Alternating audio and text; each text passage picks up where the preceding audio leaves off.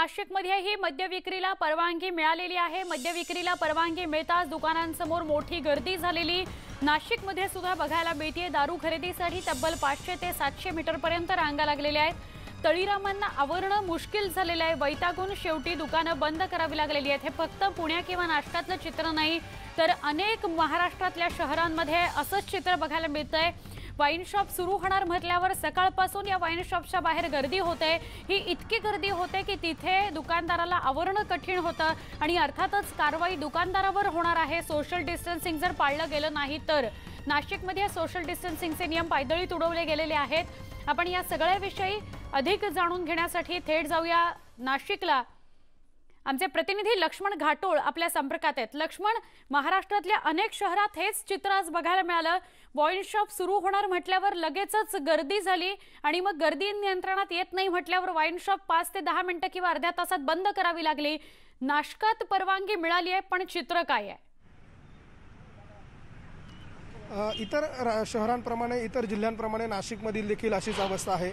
खरं तर आज अवघ्या दोन तासांपूर्वी नाशिक शहरामधले वाईन शॉप जे आहे ते खुले करण्यात आलेले होते. नाशिक जिल्हा प्रशासनानं वाईन शॉप खुले करण्याची परवानगी दिली होती. मात्र दो अवघ्या दोन तासांमध्ये नागरिक जे आहे हजारोच्या संख्येनं घराबाहेर पडले आणि प्रत्येकच शहराच्या सर्वच वाईन शॉप बाहेर जे आहे ती नागरिकांनी मोठी गर्दी केली. त्यामुळे सोशल डिस्टन्सिंग असेल त्याचबरोबर स्क्रीनिंग असेल अशा सर्वच नियमांचा फज्जा उडाला आणि त्यामुळे अवघ्या दोन तासामध्ये नाशिक पोलिसांनी जे आहे ते वाईन शॉप बंद करण्याचा निर्णय घेतलेला आहे. आपण जर बघितलं तर माझ्या बाजूला हे एक वाईन शॉप आहे. त्याला देखील अशा प्रकारे टाळं लावण्यात आलेलं आहे आणि पोलिसांकडनं जे आहे ती कारवाई सुरू करण्यात आली आहे. नाशिक शहर पोलिसांकडनं शहरातले सर्वच वाईन शॉप बंद करण्याचा निर्णय घेण्यात आलेला आहे. त्याचबरोबर सोशल डिस्टन्सिंग असेल तसंच इतर नियम जे आहे ते पाळले गेले नाही. त्यामुळे आता थेट मालकांवरच एकशे अठ्ठ्याऐंशी प्रमाणे जी आहे ती कारवाई केली जाण्याची शक्यता जी आहे ती पोलिसांनी वर्तवलेली आहे. मात्र जर आपण आज सकाळपासूनची जर दृश्य बघितली तर सकाळी सात वाजेपासून लोक जे आहे ते वाईन खरेदी करण्यासाठी दारू खरेदी करण्यासाठी रांगेत उभे होते.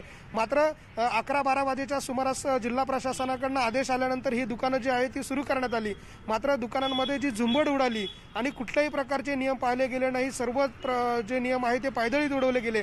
त्यामुळे आता पोलिसांकडनं ही कठोर पावलं उचलण्यात आली. खरं तर अनेक परिसरातल्या नागरिकांकडनं देखील दारू दुकानं खुली करण्यासाठी विरोध करण्यात येतोय.